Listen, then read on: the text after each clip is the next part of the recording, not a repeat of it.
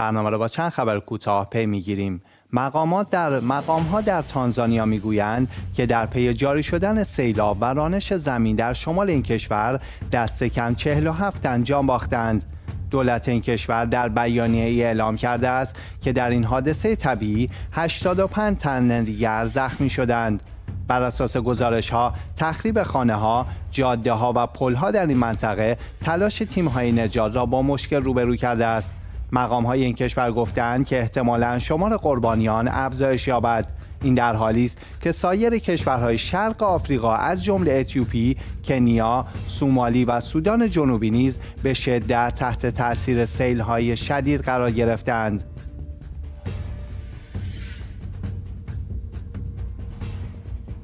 فیروز قاسمزاده سخنگوی صنعت آب ایران اعلام کرد. میزان بارش ها در کشور از ابتدای سال آبی جاری یعنی مهر ماه 1402 شمسی تا کنون نسبت به وضعیت نرمال کاهش 12 درصدی داشته است. وی در ادامه افزود پیش های سازمان هواشناسی در خصوص افزایش بارش ها در پاییز امسال محقق نشد. لازم به ذکر است وضعیت بارش ها در ایران با گذشت 73 روز از سال آبی جاری همچنان مطلوب ارزیابی نمی شود. مقام های پلیس پاکستان اعلام کردند که سه کودک بر اثر انفجار یک بمب کنار جاده در خیابانی در پیشاور زخمی شدند.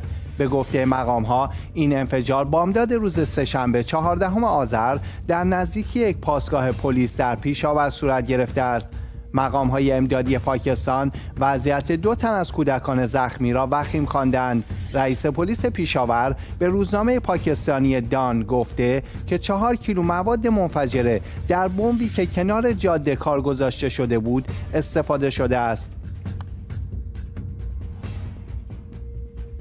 دارالایتام مجتمع حضرت فاطمه زهرا سلام الله علیها از مراکز مرتبط با دفتر مرجع عالی قدر آیت الله العظما سید صادق شیرازی در شهر کابل کشور افغانستان. کمک های ماهانه خود را در میان خانواده های ایتام و نیازمند تحت پوشش این مرکز توضیح کرد.